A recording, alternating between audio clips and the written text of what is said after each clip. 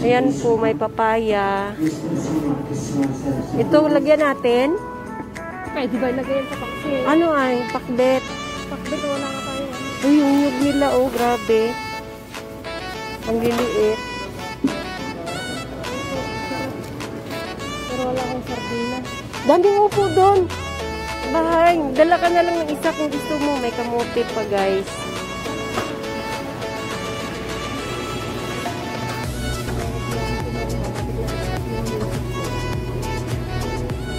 Meron?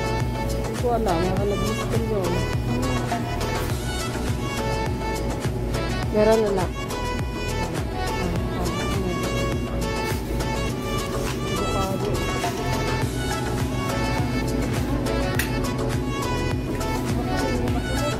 Ay, meron, meron palang ganito, no? Bukas na.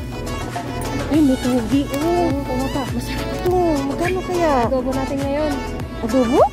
Ano gaga gagawin mo? Igisa? Oo. Gisa. Mura lang. Magkano? Reduce Indian beef sa rumah. Yan o to. Ano yan? Yung maasim-asim. Anong pangalan? Indian vegetables. Mura kaya nito. Paano pagluto naman? Igisa mo lang. Yan o. May mix na rin. Kasi bawal ka sir. Yan? Sabi? Oh, hindi mo sinesearch ko. Ayan no, may ano pa o.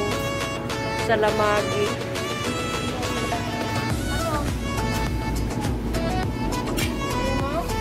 Hindi ko alam ang luto kasi.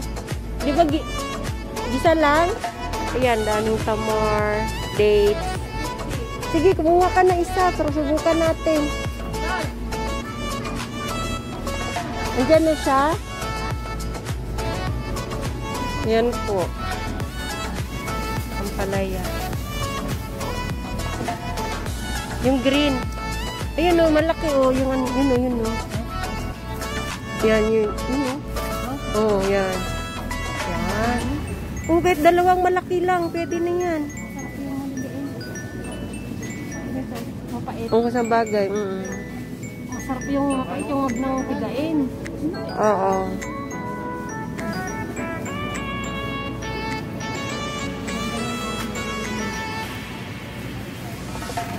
Sutok pa. Sige, sige.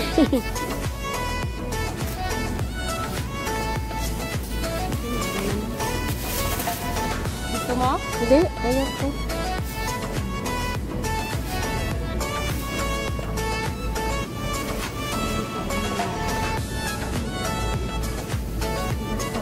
Ayan, namimili siya ng ampalaya.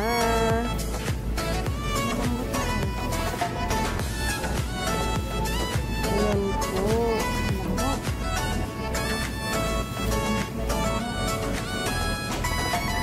Kick.